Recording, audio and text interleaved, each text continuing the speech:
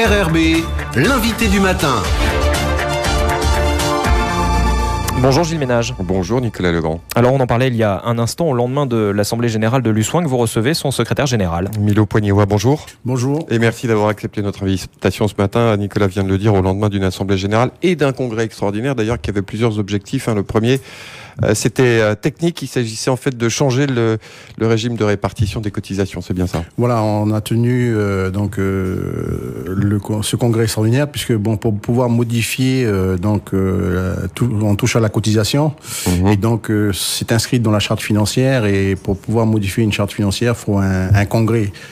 On a donc l'année dernière, on était en congrès statutaire et donc c'est pour ça qu'on en a réuni un congrès extraordinaire pour donc revoir la la répartition, euh, la modification de la répartition au niveau de la cotisation, et puis celle aussi de la subvention euh, versée annuellement par la Nouvelle-Calédonie. Alors la modification de ces, euh, cette répartition, elle est due au fait que vous avez achevé de, de, payer en gros l'immeuble, l'immeuble du soin Caducos, et du coup, et du coup vous, voulez rééquilibrer en faveur des, des syndicats sur le terrain, c'est ça? Voilà, on a terminé de, donc de l'investissement sur notre bâtiment en 2018, et mhm. pour redonner de, du poids aux, syndicats pour euh, améliorer notre, représentativité, parce qu'on mmh. s'est aperçu, hein, même si on est le premier euh, syndicat, il n'empêche que chaque année euh, on baisse au niveau représentativité, mmh. et donc le, vous voulez retravailler sur le terrain. Voilà, il faut qu'on donne plus de moyens aux, syndicats affiliés pour pouvoir améliorer cette représentativité et être au, cœur des problèmes et puis des préoccupations des, adhérents. Mmh. Donc c'est pour ça qu'on modifie euh, euh, la répartition au niveau de la cotisation et de la subvention. Alors, les préoccupations, euh, justement, il y en a beaucoup. Hein. En ce moment, l'Assemblée générale qui a suivi ce congrès extraordinaire en témoigne. il y a des inquiétudes absolument dans tous les secteurs de l'économie en Calédonie. Les inquiétudes, elles, euh, chaque euh, chaque jour, ça, je veux dire chaque semaine, euh, nos militants nous, nous interpellent en nous disant, voilà, les adhérents leur posent des questions sur leur quotidien, sur leur devenir, mmh. parce qu'ils sont inquiets. Et ils étaient déjà inquiets il y a quelque temps, puisque bon, comme je le disais hier, euh, la Calédonie en subit euh, en décalage les, les, effets de la crise mondiale. Mhm. Et quand elle arrive, malheureusement, euh, ben, on est un petit territoire et les conséquences, elles sont, elles sont énormes, hein, notamment dans le BTP. Le BTP, qui, comme je disais hier, il n'y a plus de, de grands chantiers. Mhm. Et les revenus, j'ai pris cette expression-là, que finalement à son rythme normal, puisque bon, quand il y a la période de pic, ils étaient à peu près à, comment, à, 100 milliards CFP de, de chiffre d'affaires. Or, aujourd'hui, euh, ils sont aux alentours de 60-80. Quoi. Mmh. Et donc, euh, là, aujourd'hui, la commande euh, au niveau du secteur privé, elle n'est pas là. Il y a des difficultés au niveau de, des bailleurs, de certains bailleurs sociaux, et au niveau de la demande publique. Pour l'instant, ben, il y a absence de chantier. Il y a une décision qui a été prise je crois, le, le, mois dernier sur euh, au niveau du carré roulant, mais pour l'instant, on est dans, dans l'attente. Quoi. Et, et pour l'instant, il y, a, il y a rien qui se pointe à l'horizon, euh, malheureusement, pour le BTP. Et si on ne fait rien... Euh, il risque d'avoir des, des mouvements de, de, de, suppression de personnel et on ne veut pas arriver là. Quoi. Mmh. Alors il y a un secteur, euh, Milo Poignewa évidemment, qui est, concerné au premier chef, c'est celui du nickel hein, en Calédonie. On, sait que les inquiétudes sont nombreuses autour, autour de, nos, de nos trois usines, des trois opérateurs. Euh, là hier, vous avez fait le point donc avec la section, euh, la section Vallée hein, euh, de, de, du soin du soin nickel. Euh, apparemment, il y a une offre, donc euh, celle de Trafigura, qui est le troisième euh, groupe mondial de négociation de matières premières et de métaux. et ce que vous dites, c'est qu'il ne faut pas que cette usine ferme et qu'il faut laisser les industriels travailler, c'est ça? C'est ce qu'on a dit le, mois dernier quand on a fait notre marche pour interpeller les politiques, mmh. le représentant de l'État, que on ne peut pas envisager pour nous euh, une fermeture euh, de cette usine. Elle serait euh, désastreuse hum. et lourde de conséquences pour pour le pays. Donc il y a des discussions. C'est pour ça qu'on avait demandé pour nous le, délai à fin octobre était trop restreint, trop contraint. C'est pour ça qu'on demandait un délai supplémentaire.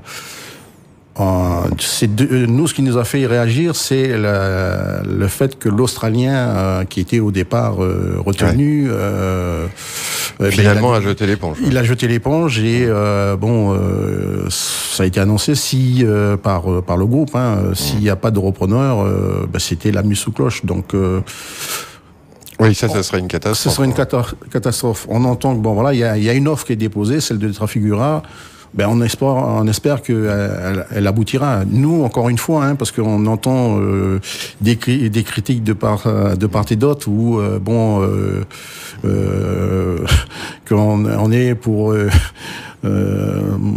on n'est pas favorable au projet de la Sofinor. Nous, mmh. quel que soit le projet, et, et, si c'était le projet de l'usine comment porté par la Sofinor et Coréa Zinc pourquoi pas euh, Nous, c'est pourvu que c'est. Enfin, c'est votre, votre, section, euh, c'est votre section Valais qui dit que c'est pas un projet euh, a priori viable. C'est la section de Valais parce que c'est il y a eu des, des, rencontres avec mhm. donc les représentants de, la Sophie Nord et que pour l'instant ils n'ont pas eu de, de, de, réponse sur le, le financement de, mhm. au niveau de cette usine. Donc ceux qui sont, euh, c'est pour ça que les discussions, il faut le laisser entre euh, industriels et puis euh, ce qui suit euh, pour vérifier la comment la, la, confortabilité ou la portabilité au niveau de, du financement, c'est la euh, la banque euh, Rothschild. Mhm. Hein, euh, c'est pas n'importe quelle banque. Ça, Donc mhm. voilà, il faut, faut, faut, laisser les discussions se faire et on espère en tous les cas que bon, il y aurait une, une bonne annonce. Bah, c'est la semaine prochaine, quoi. Mhm. Dans quelle mesure, Milo Poignewa, vous, vous pensez que les, les, les, incertitudes qui pèsent sur l'avenir institutionnel du territoire peuvent ralentir justement ou freiner l'économie? Peut-être qu'il y a des, ce que vous disiez hier aussi, c'est qu'il y a des investisseurs qui peut-être euh, attendent, euh, freinent des cas de fer avant de prendre des décisions. On a des informations et des retours comme quoi euh, ben, il y a des mouvements de, de capitaux, hein, des, des gens qui, euh, qui, qui retirent ben, des, des, des, sommes de, de Nouvelle-Calédonie, qui le placent ailleurs, et puis des, des investisseurs, mais c'est pas de maintenant, hein, c'est depuis euh, même après le, le, premier référendum et même avant, où ben, les gens, pour l'instant, ils sont en attente de, de la situation. Mm. Et ça, c'est n'importe quel investisseur aujourd'hui, il ne peut pas euh, s'engager parce que euh, il y a cette incertitude qui pèse sur le, le devenir de la Nouvelle-Calédonie. Mmh. Et tant que on sera dans cette période euh, référendaire, bah, on ne peut pas envisager quoi que ce soit sur et, et le problème, c'est qu'on ne règle pas les, le quotidien des Calédoniens. C'est mmh. ce que nous nous disent nos, nos militants, les adhérents. Et malheureusement, euh, il y a encore une rencontre qui va se tenir donc euh, la semaine prochaine avec euh, le ministre de l'Outre-mer, hein, jeudi, où bon, il met tout le monde autour de la table, mais pour discuter encore de l'institutionnel, de la sortie de l'accord de Nouméa. Ouais. Or, il serait, ça a été, enfin, je reviens sur ce qui a été acté au comité des signataires l'année dernière. C'est le premier ministre, mm. l'ancien premier ministre, qui l'a dit. Euh, qui fait le constat que bon dans 30 ans, euh, ben on s'est occupé que de euh, des problèmes institutionnels et on n'a pas réglé les problèmes euh, sociaux et économiques. Mmh. Donc ça, ça a été euh, discuté euh, au comité des signataires, sauf qu'au retour, il n'y a rien qui, qui s'est passé au niveau du pays. Oui, entre-temps, il y a eu une petite euh, crise sanitaire mondiale. Oui, c'est sûr que bon, mais la, la, crise sanitaire, la bandeau, hein, mmh. on, la, on la sert à toutes les sauces aussi. Hein. Alors justement, ce que vous réclamez aujourd'hui, Milo Poignewa, c'est un, un dialogue, une reprise de dialogue et la mise en place de réformes, notamment sur le plan fiscal. Alors hier, euh, donc euh, l'Assemblée générale hein, a été euh, donc a voté une motion pour mmh. donc déjà dans un premier temps apporter notre contribution, donc d'engager une réflexion avec l'expertise du, du, cabinet Syndex, et mmh. puis les conseils et, et tout l'accompagnement avisé de, de la Confédération CFDT. Euh, et ça, euh, bon, on, mesurera les avancées au niveau, de cette réflexion lors de notre euh, Assemblée générale de 2021 et celle de 2022.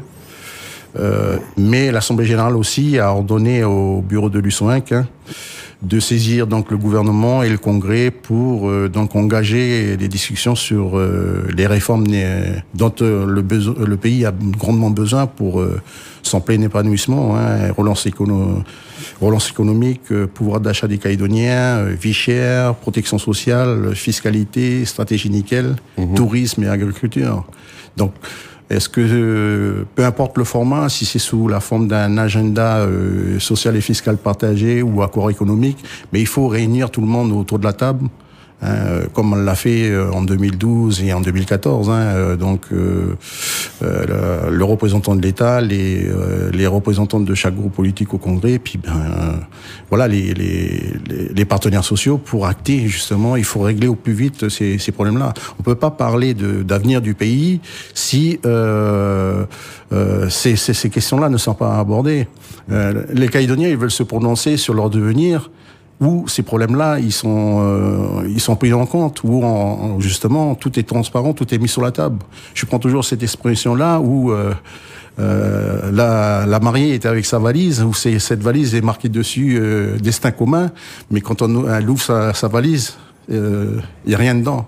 Hmm. Et c'est le problème aujourd'hui de la Calédonie. Milo Poignewa, secrétaire général de, du SOINC, merci d'avoir accepté notre invitation ce matin. Merci.